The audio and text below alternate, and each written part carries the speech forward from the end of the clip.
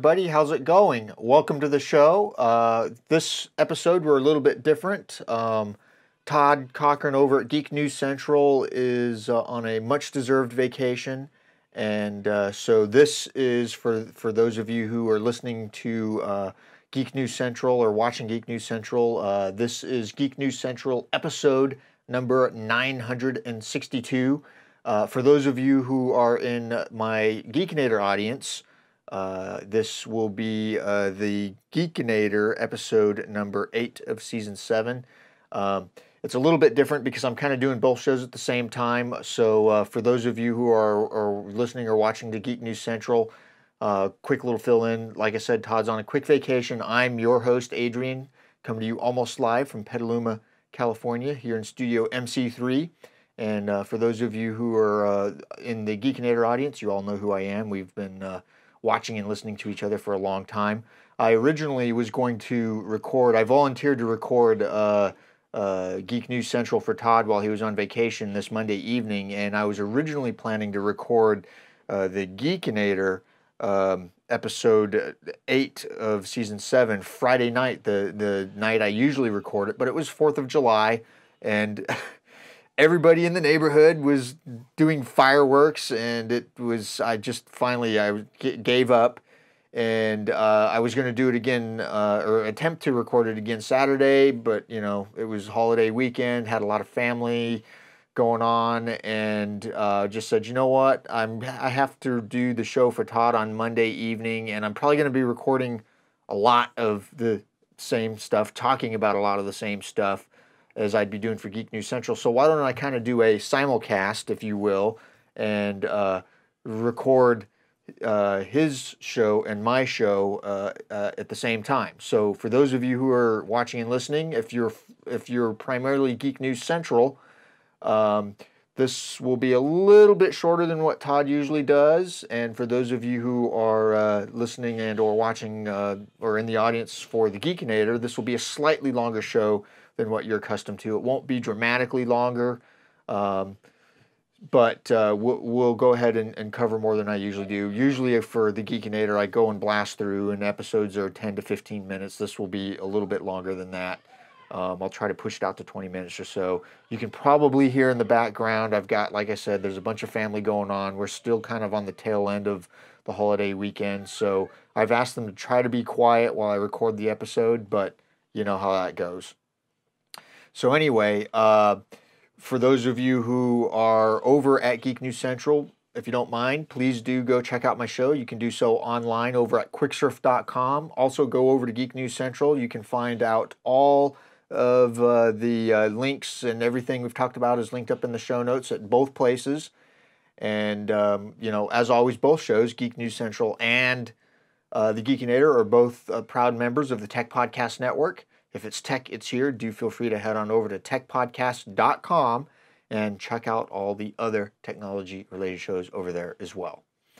Uh, so anyway, with that being said, I know Todd usually opens with a little bit of you know preliminary chit chat um, so in addition to, uh, you know, just kind of having a just terrible weekend for doing the show, um, you know, a bunch of family stuff going on and that sort of thing. Uh, uh, Sunday evening, um, I went and saw the uh, Transformers: Age of Extinction. I've been trying to get go see it with my dad since it came out, and he's finally just like, eh, you know what? I'm not that interested in seeing it. So I was like, all right, well, I'm going to go see it.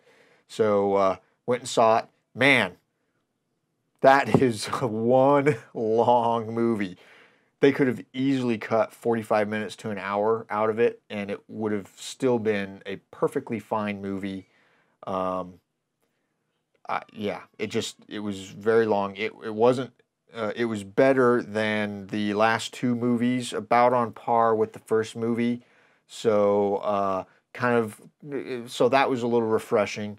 However, uh, yeah, way too long, um, way too way too busy. Just oh man, it was just there was a lot going on there. They could have really simplified it and streamlined it a lot. Um, anyway, so went and saw that. I thought it was all right. I'll probably end up buying it on disc when it comes out, but uh, you know that was that was essentially my weekend. And then today was uh, uh, you know basically uh, today's Monday. So, you know, getting back into the swing of things for the week. So let's uh, go ahead and get into some of the cool stuff that I've got for this episode. Um, the first story is over at Mashable. Um, I ran across this. Nokia and Microsoft are possibly working on an Android powered Lumia, uh, which is weird because Nokia has for their Lumia line has really mostly been Windows. I mean, when you when you say Nokia Lumia or Nokia Lumia, uh, you know what do you think? You think, oh, it's Windows Phone well, you know, and Microsoft bought no, not Nokia, which kind of, you know, makes you wonder what they're thinking. Eh, uh, simply because it's still, you know, uh, it should you would expect it to be a Windows phone. Well, so I, I don't understand this, and I'm a little confused. It could be an Android phone, uh, the next Lumia smartphone. So you know, they've both previously released Android powered devices, notably the Nokia X, the non Windows Phone version of its flagship Lumia line, would be a first for Nokia. Um, this new phone, and I'm using air quotes here for those of you who are not watching uh, the video here, the new Lumia will supposedly be released under the Nokia by Microsoft brand, according to EV leaks.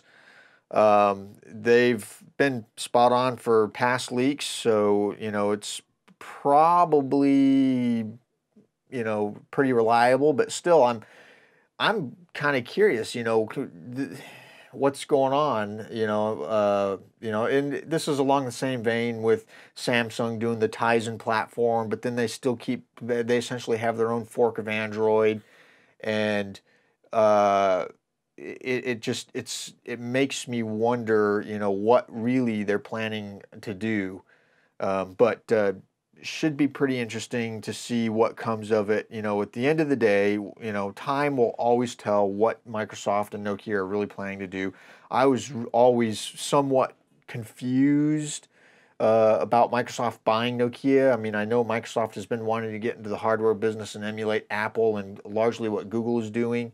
But you know, Nokia has been kind of one of those weird oddball brands that they that they never really kind of grepped. You know what what uh,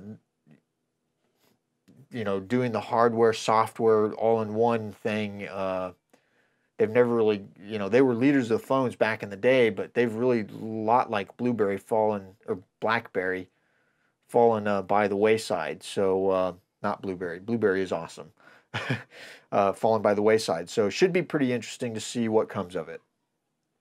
From Tom's Guide, uh, Home Depot launches a Wink Smart Home Collection. I'm actually not that familiar with Wink. I, I, I realize that uh, Wink is one of those um, uh, home network appliances that, or, you know, it's a collection of home network appliances that you can control, you know, light bulbs, that sort of thing. Um, as of July 7th, uh, Home Depot is to have a series of Wink enabled connected appliances such as light bulbs, window shades, water heaters, etc., etc., uh, for sale at the retailer's 2,000 US locations. So I may actually go to Home Depot and check this out. I've never heard of Wink before. Um, I've, I've not really in the past been huge into, at least not for know, a few years now been into home automation simply because I primarily rent and you can't really do a lot. so, uh, but just in terms of a technology platform, this does look pretty intriguing. So I'll be definitely checking this out. Uh, should be pretty cool. And and for those of you who are uh, Wink users, um, you definitely should be checking this out because now you have some place that's probably pretty local um, to uh, get your stuff. No thanks. Why does this keep doing this? All right, I'm having some technical difficulties here. From uh, PCMagazine.com. I don't want that ad. Thank you. Can't stand websites that do that. From PCMagazine.com, uh, Google's founders are uh, eyeballing a fully reasoning AI. Now, this is kind of the holy grail. I don't think it's going to happen in our lifetimes, although there's been a lot of advancements. Quite frankly, you know, not enough advancements. There have definitely been huge advancements in specialized AI. And when you read through the story, it's really not general purpose AI that they're eyeballing. It's really they're trying to tie it into their smart car, their self-driving car, if you will, and uh, AI to do that. That I think that we can crack that nut. Um, you know, there, like I said, if you specialize, you know, and have a defined problem set, and you can get some specialized AI in there, you can actually get artificial intelligence that's very good at what it does and does it way better than humans ever will do it on their own. But uh, in terms of general AI, I think we're a long ways off. You know, there are areas where that uh, we could do it. Um, you know, if it's specialized, but that's about it. So, you know, the, the, article points out that a big area of focus uh, is the self-driving car. Again, you know, this, they started off with the, eyeballing AI, and I was like, ooh, AI, general purpose AI. And it, it wasn't until I started reading the story that I was like, oh, this they're just trying to tie in their car. They've been doing that for years. You know, come on, guys. So should be pretty interesting. The next story we have is uh, from Mashable again. Um, this is kind of important. especially if you're a uh, Android Wear user. You know, we're kind of in the early days of Android Wear at this point, seeing as it was just announced at Google I/O what a week ago, two weeks ago, something like that. Um, the story here: Android Wear bug is preventing users from installing paid apps. So basically, what this is, it boils down to encryption if you have a paid app, Android ties it to the device uh, that that you're you're buying it for, so that you can't just go install it willy nilly. Totally makes sense. It's you know makes sense. Unfortunately, there's a bug where the Android Wear device can't decrypt that app because it looks like a different device from what I understand. And so therefore, even though you paid for the app, in the Android Play Store or the Google Play Store. You can install it on your Android device, i.e., your mobile phone, etc., the platform that you bought it on, but it won't, and it'll automatically download the app for your Android Wear device, but it's encrypted with the key for your not your Android Wear device, but for the for the device that you bought it on the platform you know, this is one of those things. Not, I'm, I'm disappointed to hear about this because it's something you should have thought of, but at the same time, it's one of those things that happens all the time. People, this happens all the time. It's, it's you just overlook it, and it's not until you get out into the field and you're like, oh, whoa, oh man, didn't even think about that. So if you have a free app, when the vast majority of apps out there for Android Wear are free, this isn't an issue. It's only for paid apps. Um, undoubtedly, they they're going to come out with a fix for it at some point, but uh, still, you know, somewhat disappointing to hear about that sort of thing. Uh, you know, especially considering it's like you know these are paid apps. People paid to use these apps. They expect to be able to install them on their Android Wear device. From Reuters, FCC names heads of Comcast, Time Warner Cable, AT&T, DirecTV deal reviews, which is kind of interesting. So basically what this boils down to is a Federal Communications Commission's lawyer will lead the agency's review of the proposed mer merger of Comcast and Time Warner Cable, while an external lawyer will join to lead the review of AT&T's bid for DirecTV according to the FCC on Monday.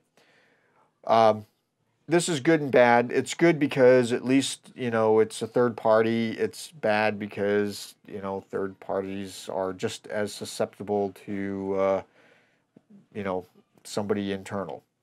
The same types of things that somebody internal is prone to, uh, you know, having bias and that sort of thing. So uh, I'm curious to see. Frankly, I don't think AT&T needs to merge with anybody.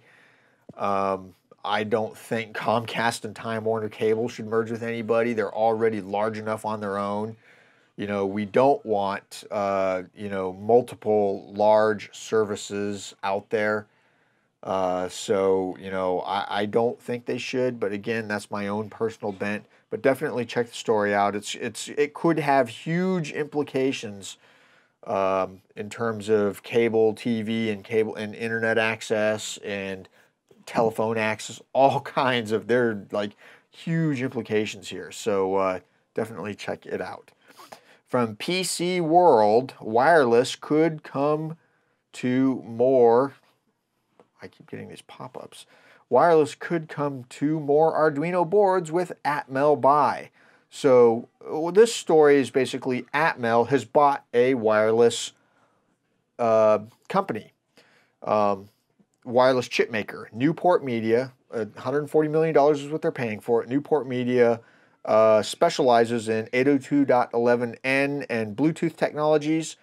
Uh, this is something that uh, you know Arduino, the Arduino platform, has sorely been lacking in wireless uh, technologies. You've typically had to do a shield to get that sort of thing.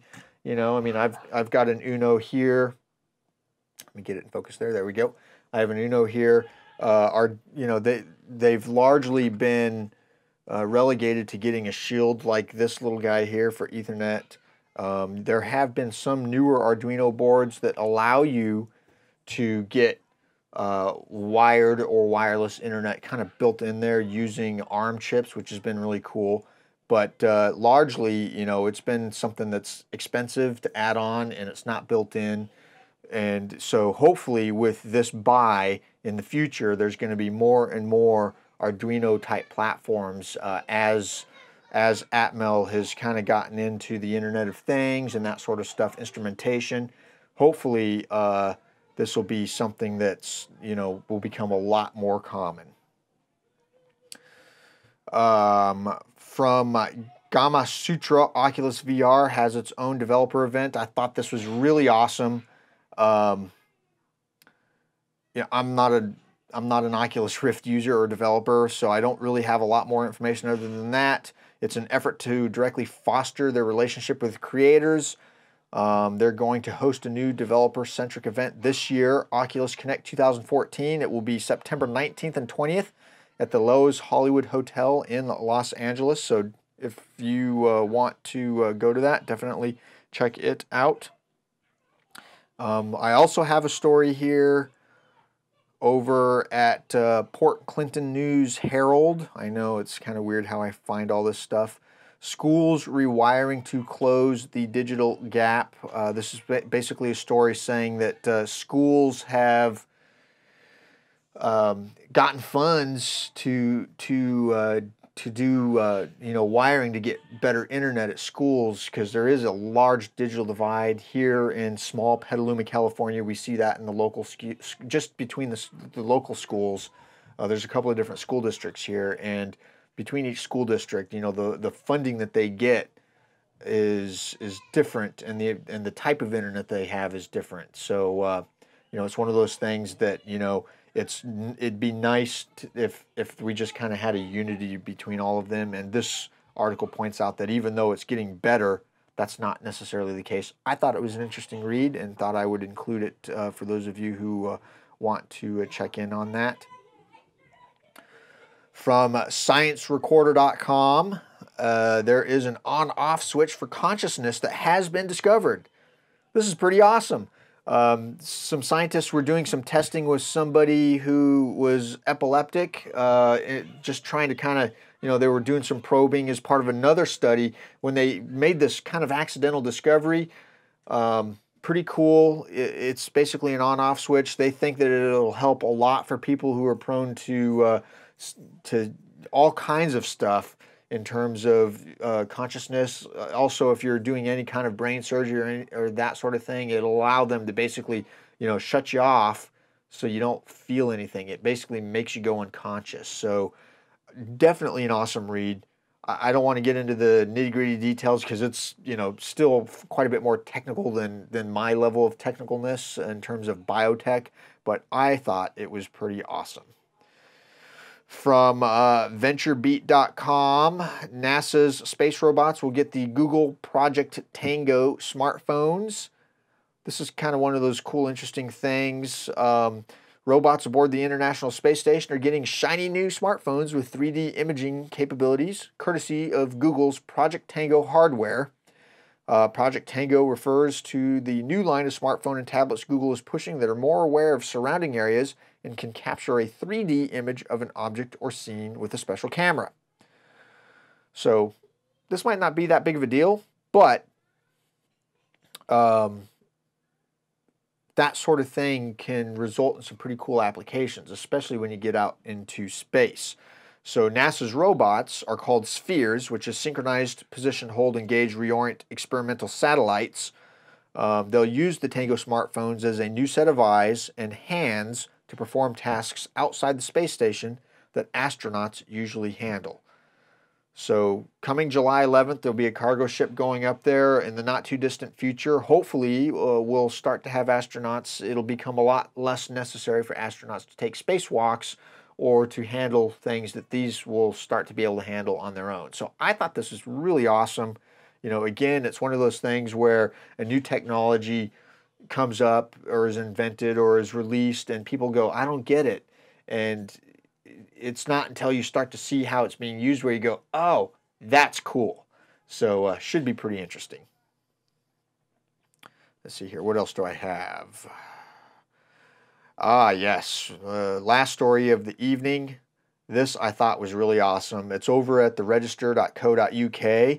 It's alive! Space hackers fire up zombie sun probes engines. The solar system's wandering relic of a satellite called the ISEE 3 is now back in action. Uh, a team of international space geeks has successfully fired up the engines of a long defunct NASA satellite.